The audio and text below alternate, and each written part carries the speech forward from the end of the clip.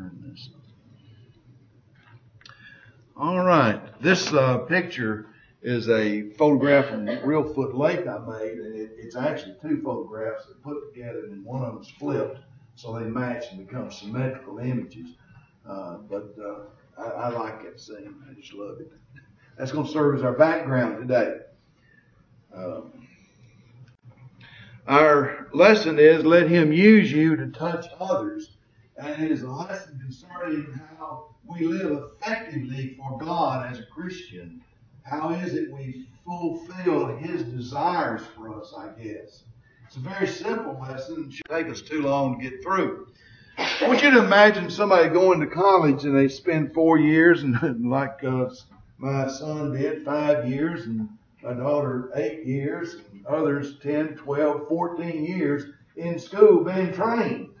And they get through with school and they don't do anything with what they did. You probably say, well, there's a lot of wasted time, a lot of wasted life, and a lot of wasted money. Uh, well, what if we go through life as a Christian and don't do anything with what God has planned for us to do? Because God has with their outline for our spiritual development. And it comes in the form of you need to become like Him. And, and we've talked about that as we go through the, the fruit of the Spirit and develop those characteristics. It's like God. And you need to take that which you have and you need to live for Him so that you are effectively changing the lives of, of those who are around you and changing your own life. Now, if you get that principle and as biblical principles, you got the lesson, okay? Well, today I want to carry you further than just becoming a Christian. I want you to uh, let Him use you to touch others because we are touched by God daily. And that needs to spill over into the lives of those who are around us. Let's get some principles from the scriptures. First one comes from Matthew chapter 5, verse 13. It's in the Sermon on the Mount. And Jesus says, Let your light so shine before men that they may see your good works and glorify your Father which is in heaven. Understand that the light is the light that comes from God. If we walk in the light as He is in the light, it is an association with God. It is uh, your, your relationship. And so you get light, you get brightness, you get the effervescence from God, you get the uh, so far above the world is where you were brought to. And he says you are to let that be seen. There is relationship with other people. The other people are seeing the change that takes place in you. He says to take that light and, and you do good works. And they're going to see that evidence. Not that earning your way to heaven. Not even getting brownie points for the good stuff you do. But that by you doing what you ought to do because you're being transformed into His image, it will be something good that they will see. And the reaction will be that they know you are a Christian and they glorify God. Now you and I both know sometimes that doesn't work quite like that. It happens. Because we have an adversary in the world. And he's going to take what you do and he's going to construe it so that the world understands something differently. But if they understood what was going on in your heart, what was going on in your relationship to God, the only thing they could do would be to glorify God for it. But it doesn't always work that way because Satan's here. The next passage is the You Did It Unto Me passage.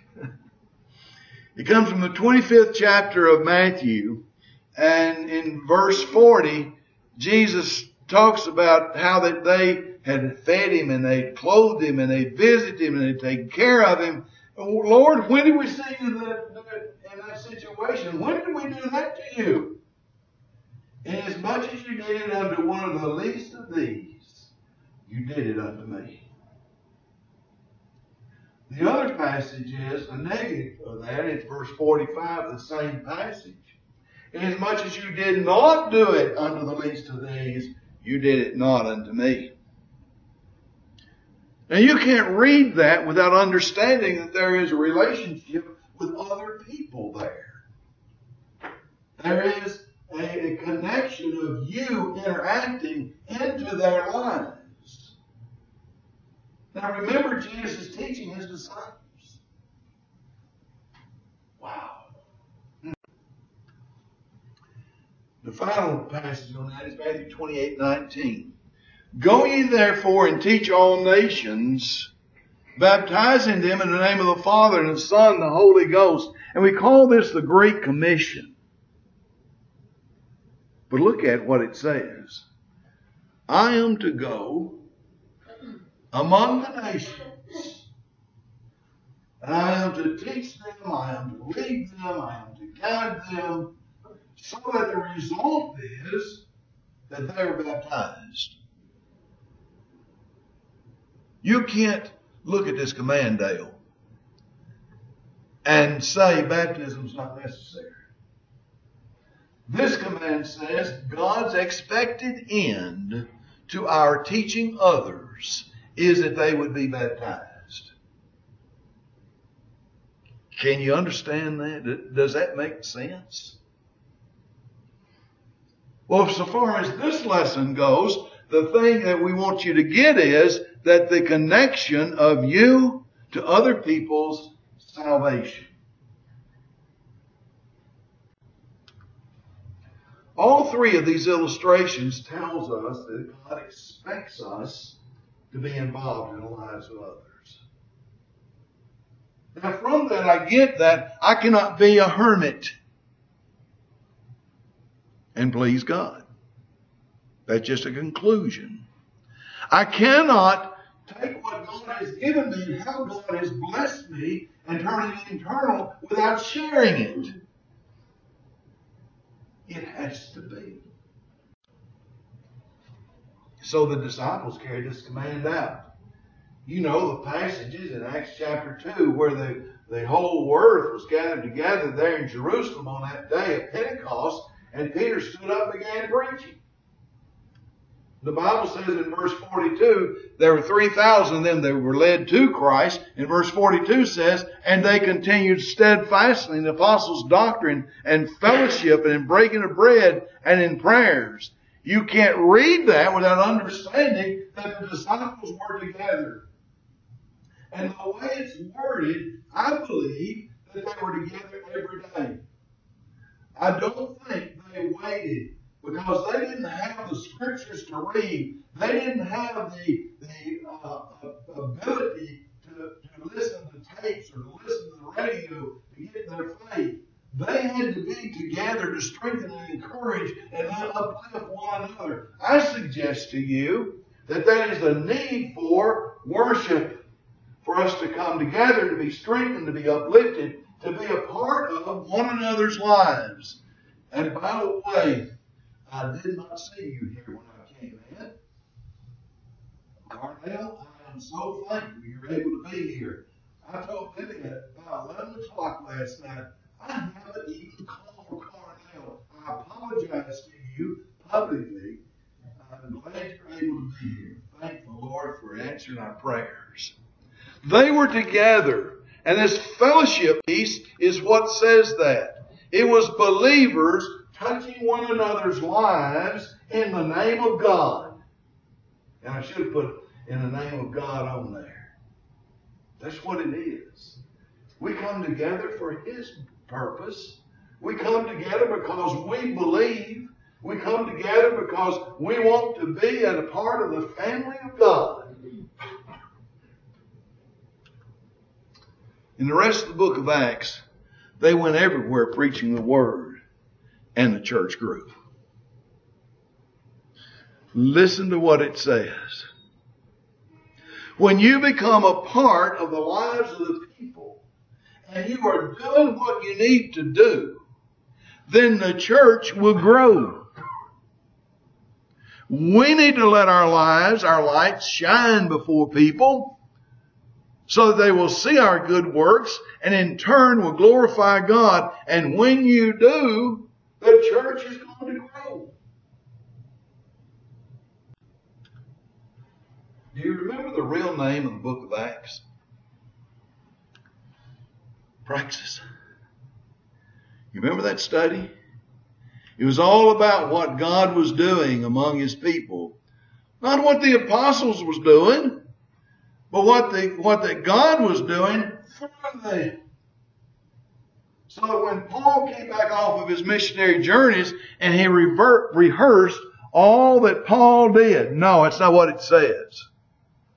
Paul came back and told them about that missionary journey, and the Bible says all that God was doing through him.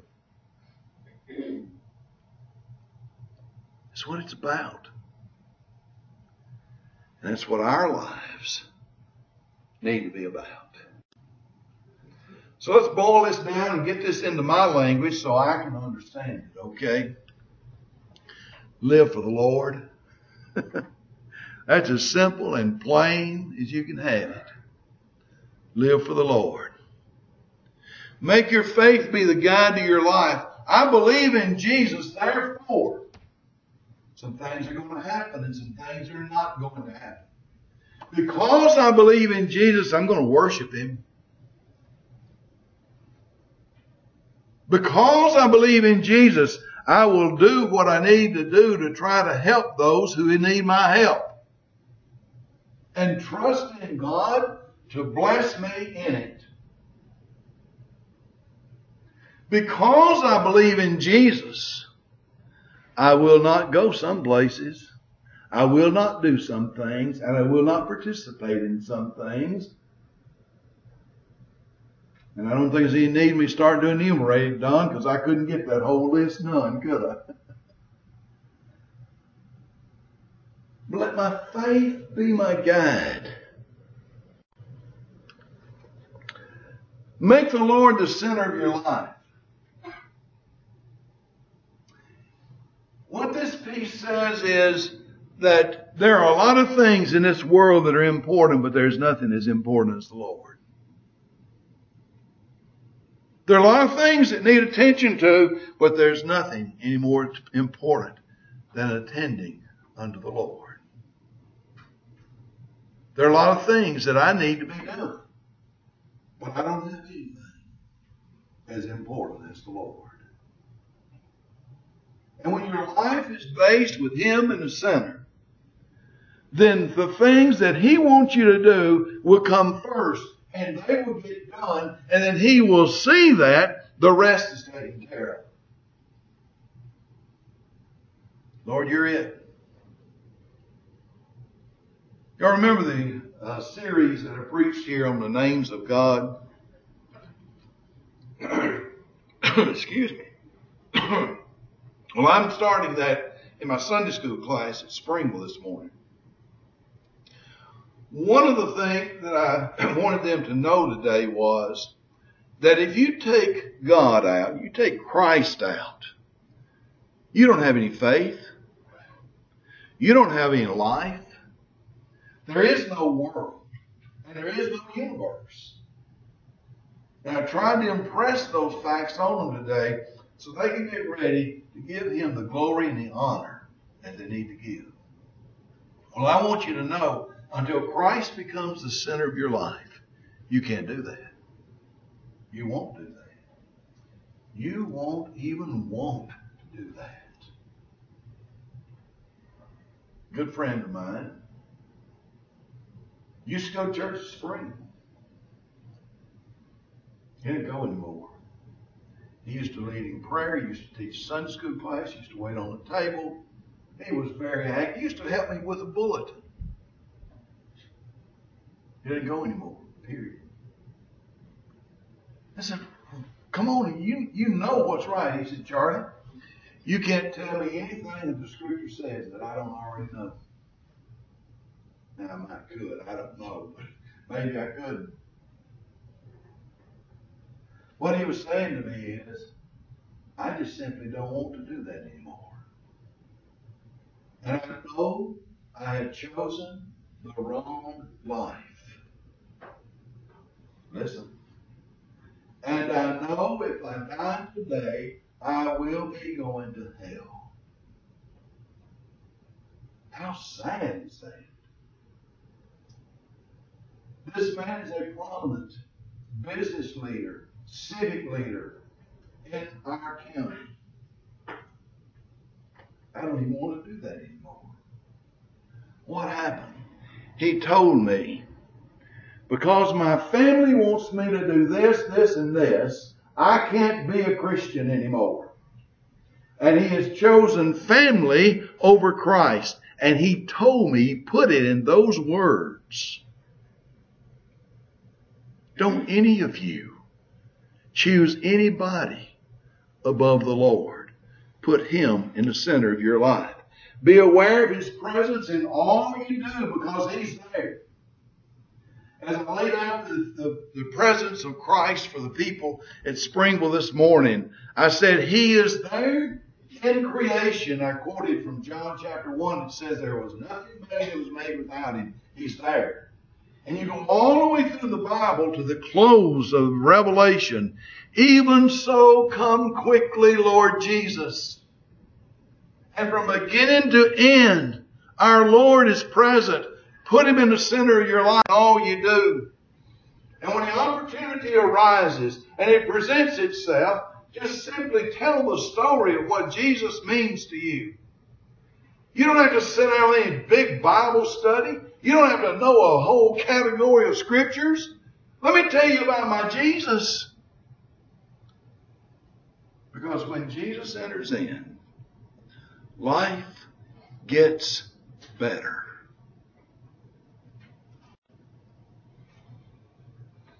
Your evidence today is going to stand as our closure.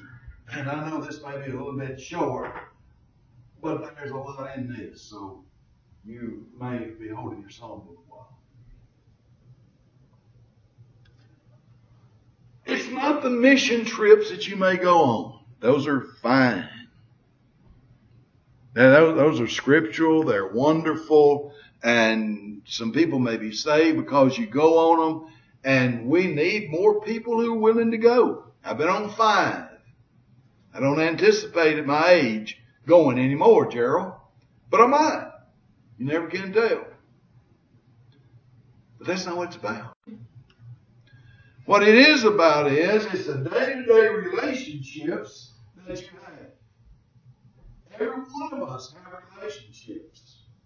We have friends, we have neighbors, we have family, have work cohorts, we have all kinds of relationships in this world. And it is about in those relationships having an influence. So you need to ask yourself, because I am here and in this relationship, have I made it better or have I made it worse?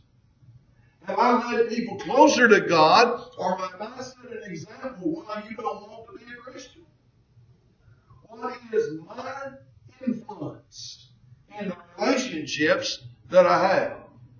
Because where I want to grow to and where I want to be is, I want those people in those relationships to pay attention and say, oh, this is what Christ looks like. And that is scriptural because Paul says you are being changed into his image. You're being changed.